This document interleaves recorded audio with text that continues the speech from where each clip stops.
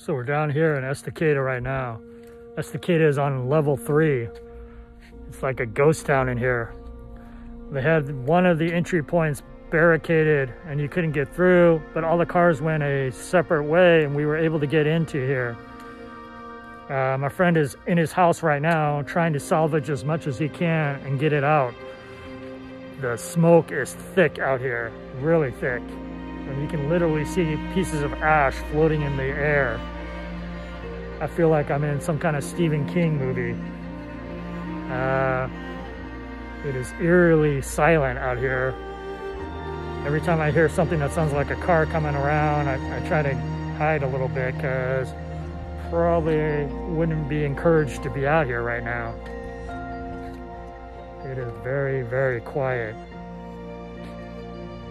Smoke is probably about three times as smoky as uh,